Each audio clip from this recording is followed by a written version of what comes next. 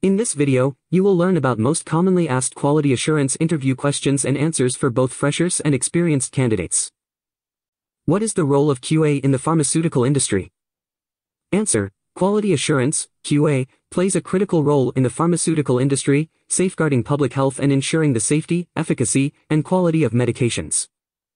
QA professionals are responsible for establishing and maintaining quality standards, they define quality requirements for all aspects of drug development, manufacturing, and distribution. Monitoring and auditing processes, they ensure compliance with good manufacturing practices, GMP, and other regulations. Reviewing and approving documentation, they evaluate data, reports, and procedures to ensure accuracy and completeness. Investigating deviations and nonconformances, they identify and address potential quality issues promptly. Implementing corrective and preventive actions, they work to prevent future occurrences of quality problems. Providing training and guidance, they educate staff on quality procedures and regulations. What is the concept of good manufacturing practices, GMP, and its significance in pharmaceutical QA? Good manufacturing practices, GMP, are a set of guidelines and principles that govern the manufacturing of pharmaceuticals. Ensuring that products are consistently produced and controlled to meet quality standards. GMP covers various aspects, including facility cleanliness, personnel hygiene, equipment validation, record keeping, and quality control. Adherence to GMP is essential for pharmaceutical QA as it helps prevent contamination, mix-ups, and errors, ultimately ensuring the safety and efficacy of the produced medicines. Can you explain the importance of CGMP? Answer. CGMP is an extension of GMP, emphasizing the need for continuous improvement and adaptation to evolving technologies and scientific advancements. It ensures that manufacturing processes are up-to-date, efficient, and capable of consistently producing high-quality pharmaceutical products.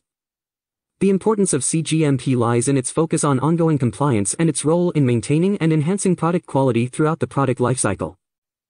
What are the different types of quality control tests used in pharmaceutical manufacturing and how they ensure product quality? Answer. Types of quality control tests in pharmaceutical manufacturing. Identity tests confirm the identity of raw materials and finished products. Purity tests ensure that the product is free from impurities, including contaminants and byproducts. Potency tests assess the strength or concentration of the active pharmaceutical ingredient, API, in the product. Uniformity tests check for uniform distribution of the API and other components within the product.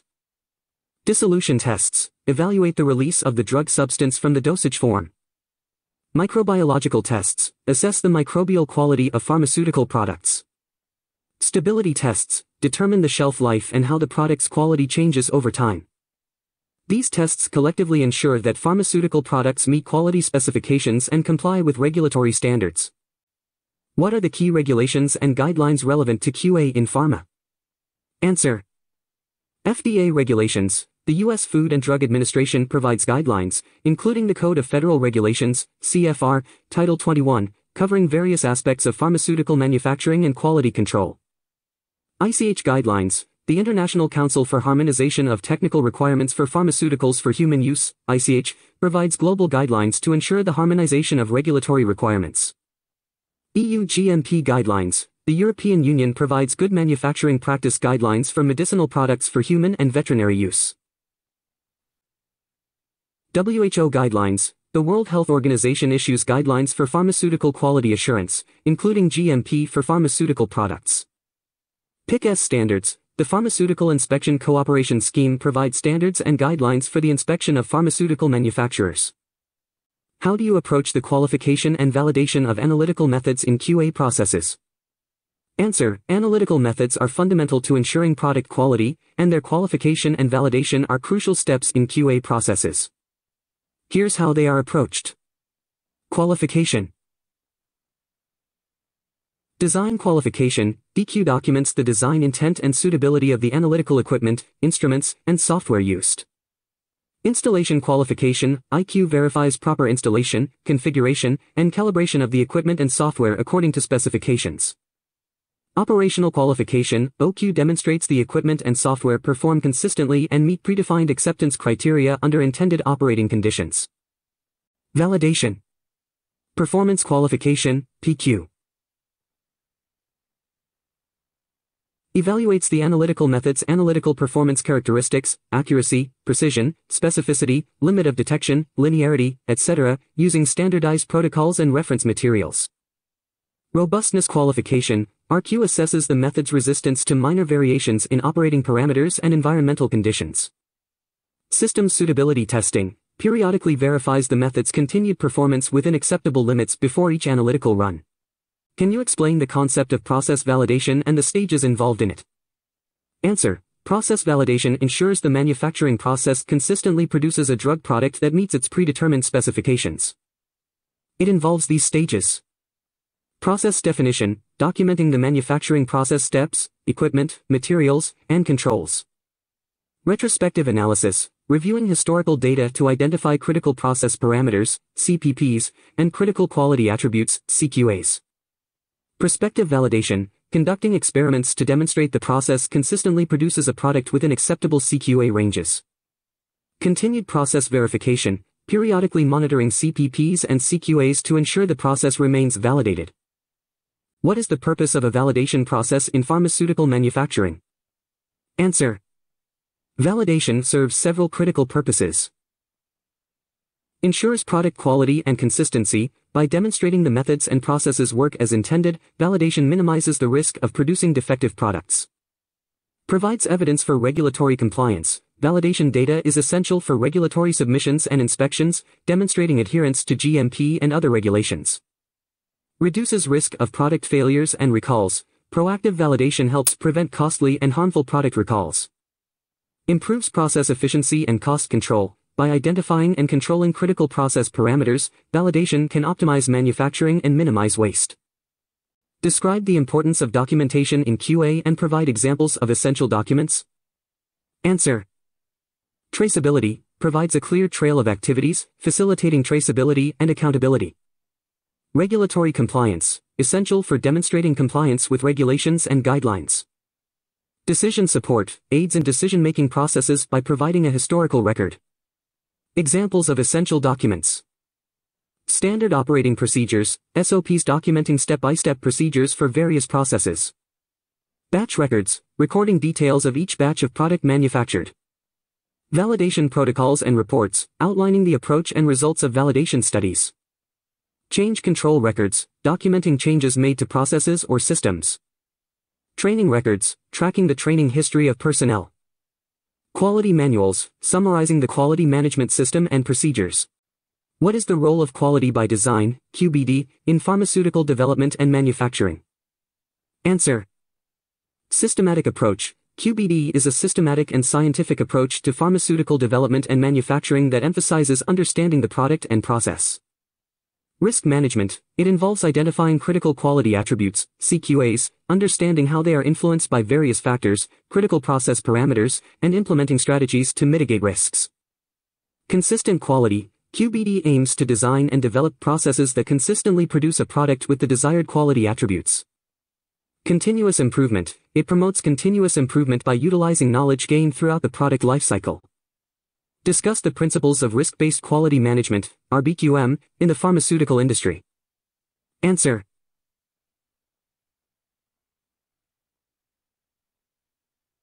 RBQM prioritizes efforts based on potential risks to product quality. Key principles include Risk assessment, identifying, analyzing, and evaluating potential risks throughout the product lifecycle. Risk mitigation strategies, implementing controls to minimize the likelihood and impact of identified risks. Resource allocation, directing resources towards controlling significant risks instead of spreading them thin.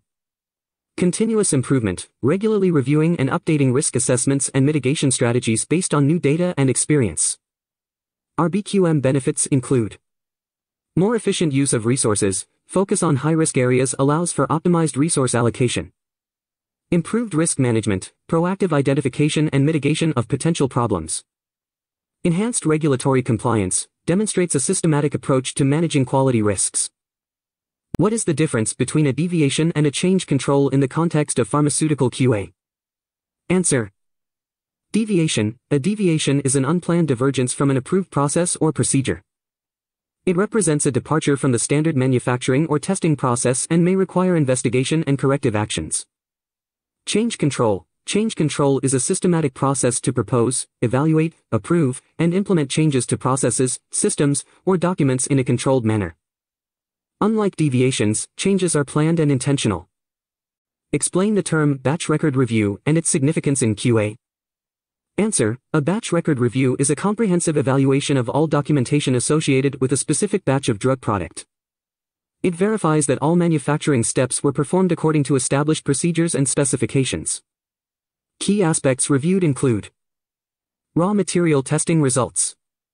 In-process control data. Finished product testing results. Equipment calibration records. Deviations and their resolutions. Batch record review ensures compliance with regulations and quality standards. Consistency and traceability of the manufacturing process. Identification and correction of any potential quality issues.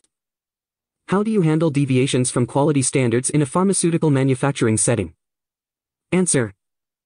Immediate investigation, deviations are promptly investigated to determine their root cause. Corrective actions, implement corrective actions to address the identified issues and prevent recurrence. Documentation, thoroughly document the deviation, investigation, and corrective actions taken.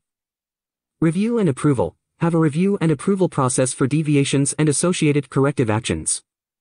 Communication, ensure clear communication within the organization regarding the deviation, its impact, and the corrective measures taken. How do you handle out of specification, OOS, results in pharmaceutical manufacturing? Answer, OOS results, where data falls outside predefined acceptable limits, demand a rigorous and documented response. Immediate investigation, identify the root cause of the OOS result, considering factors like instrument calibration, human error, or process variability. Impact assessment, evaluate the potential impact on product quality and safety based on the severity and frequency of the OOS. Corrective and preventive actions, CAPA implement actions to address the root cause and prevent future occurrences. This might involve retesting, equipment recalibration, or process adjustments. Documentation, thoroughly document the entire process, including the OOS result, investigation, CAPA plan, and implementation. Regulatory reporting, report OOS results to regulatory authorities as required by specific regulations. Explain the role of QA in the change control process and its impact on product quality. Answer, change control is a formal process for managing modifications to procedures, specifications, or equipment used in manufacturing. QA plays a vital role. Reviewing and assessing proposed changes, QA evaluates the potential impact of changes on product quality, safety, and regulatory compliance. Approving or rejecting changes, based on the assessment, QA provides approval or recommends against the change. Monitoring implementation, QA ensures the change is implemented according to the approved plan and verifies its effectiveness. Documenting the entire process, all aspects of the change control process are meticulously documented for traceability and audit purposes. Effective change control minimizes risks associated with modifications, ensuring product quality remains consistent and meets regulatory requirements. Discuss the role of Statistical Process Control, SPC, in pharmaceutical manufacturing. Answer. Quality monitoring, SPC involves the use of statistical tools to monitor and control processes, ensuring they remain within specified limits. Variability reduction identifies trends, shifts, or abnormal patterns in data, allowing for proactive correction of issues and reduction of process variability. Continuous improvement, SPC supports continuous improvement efforts by providing real-time data insights into process performance. Quality assurance, SPC helps in maintaining process stability and preventing deviations from quality standards. What is the concept of continuous improvement in pharmaceutical QA and provide examples of its application? Answer. Plan do Check Act, PDCA cycle, implementing the PDCA cycle for continuous improvement. Root cause analysis, investigate issues to identify and address underlying causes. Training and development, continuous improvement in personnel skills and knowledge. Feedback mechanisms, establishing mechanisms for collecting feedback from processes and stakeholders. Implementation of best practices, adopting industry best practices to enhance efficiency and product quality. Regular audits, conducting internal and external audits to identify areas for improvement. What experience do you have with different analytical techniques used in pharmaceutical quality control, such as HPLC, GC, and spectroscopy? Answer. HPLC, high-performance liquid chromatography used for separation and quantification of components in a mixture. GC, gas chromatography applied for analyzing volatile compounds. Spectroscopy, UV, IR, NMR utilized for identifying and quantifying compounds based on their interaction with light. Wet chemistry techniques, titration and gravimetric analysis for certain chemical analyses. Particle size analysis, techniques like laser diffraction for assessing the size of particles in formulations. What are the different types of documentation used in quality assurance? Answer, comprehensive documentation is essential for QA practices. Examples include Standard operating procedures, SOPs detailed instructions for performing specific tasks and processes. Batch records, detailed records of all manufacturing activities for each batch of product. Analytical records, all data and results generated during analytical testing. Calibration and maintenance records, records of equipment calibration and maintenance activities. Deviation reports, documents any deviations from SOPs and corrective actions taken. Validation protocols and reports, documents outlining the validation process and its results. Training records, records of personnel training on QA procedures and regulations.